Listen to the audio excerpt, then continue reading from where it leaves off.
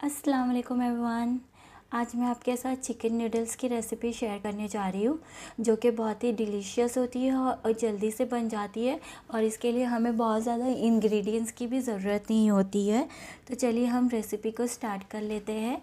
यहाँ पर मैंने 300 ग्राम बोनलेस चिकन ले लिया है, उसे मैंने स्ट्रिप्स में कट कर लिया है इसे लंबे लंबे अब इसमें हम ऐड करेंगे वन टीस्पून लहसुन का पाउडर यहाँ पर मैंने half teaspoon black pepper add कर दी है। Half teaspoon red chilli sauce है, half teaspoon black soya sauce है और जो सॉल्ट है, हम टेस्ट के अकॉर्डिंगली ऐड कर देंगे।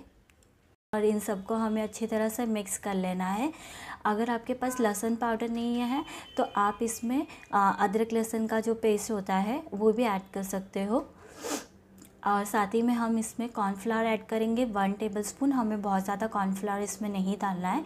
सिर्फ़ ये एक बाइंडिंग एजेंट की तरह ही हमें इसे यूज़ करना है। तो ये देखिए, इस तरह से आप कर लीजिए। साथ ही में मैंने यहाँ पर शिमला मिर्च, गाजर और जो कैबेज होता है, बंद गोभी, वो ले लिया है। उसे हम, मैंने बारीक बारीक कट कर लिया है। यहाँ पर मैंने पानी गर्म करने रख दिया था। आ, हम इसमें नूडल्स को बॉईल करेंगे। तो यहाँ पे मैं थोड़ा सा सॉल्ट ऐड कर रही हूँ। साथ ही में हम इसमें वन टीस्पून के अराउंड ऑयल ऐड कर देंगे। इससे हमारे जो नूडल्स है वो चिपकेंगे नहीं। पानी अच्छे से हमें पहले बॉईल कर लेना है। जब हमारा पानी बॉइल्ड हो जाएगा तो इसमें हम हमारे नूडल्स पैकेटी जो भी आप यूज़ करना चाहो वो यूज़ कर सकते हो। यहाँ पे मैंने जब तक वो नूडल्स बॉईल हो रहे हैं तो यहाँ पे मैंने कढ़ाई ले ली है और इसमें हम थोड़ा सा ऑयल डालेंगे। इसमें हमें चिकन को फ्राई करना है, इसलिए मैंने थोड़ा सा ज़्यादा ऑयल डाला है। तो हम इसे चिकन को फ्राई कर लेंगे इसमें। और हमें ना चिकन को बहुत ज़्यादा इसे कुक नहीं करना है, वरना चिकन बहुत ज़्यादा हार्ड हो जाता है, क्योंकि वैसे भी ये बहुत छोटे छोटे स्ट्रिप्स में कट किया हुआ है। तो बस हमें इसे चार से पाँच मिनट लगेंगे दोनों साइड्स पकने के लिए। आप बहुत ज़्यादा इसे मत पकाइएगा।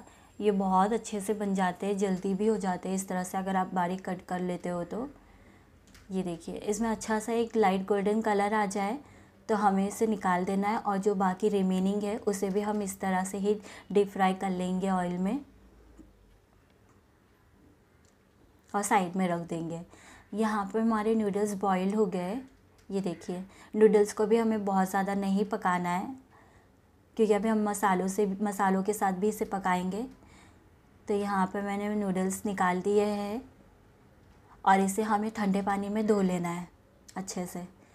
ठंडे पानी में आप धोगे या आप आइस वाटर के साथ भी इसे धो सकते हो अच्छे तरह से। तो ये चिपचिपे नहीं होते और इसमें थोड़ा सा ऑयल डाल के हम इसे साइड में रख देंगे। इस तरह से आप मिक्स कर लीजिए थोड़ा सा ऑयल डाल के। यहाँ पर वो सेम ही ऑयल है जिसमें मैंने फ्राई किया था आ, हमारे चिकन को। इसमें वन टेबल स्पून के करीब मैं आ, जो गार्लिक होता है उसे बारीक कट कर लिया है वो ऐड कर रही हूँ।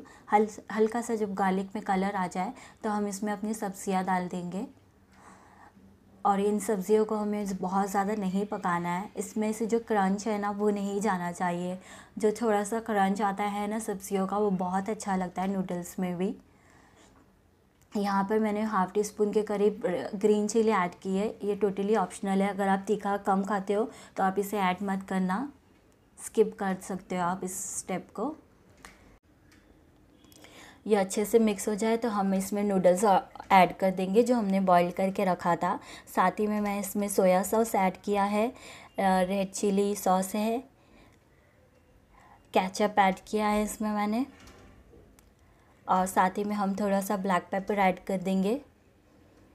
और जो सॉल्ट है, वो हमें थोड़ा सा ही डालना है, क्योंकि सॉसेस में भी सॉल्ट होता है।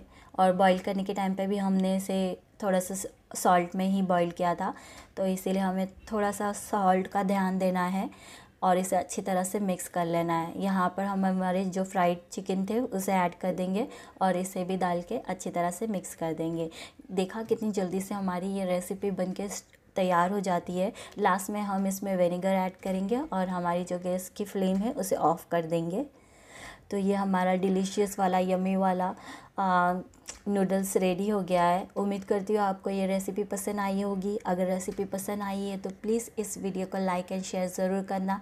साथ ही में आपने अगर अभी तक चैनल को सब्सक्राइब नहीं किया है तो प्लीज़ चैनल को भी सब्सक्राइब कर लेना। थैंक यू अल्लाह हाफिज़।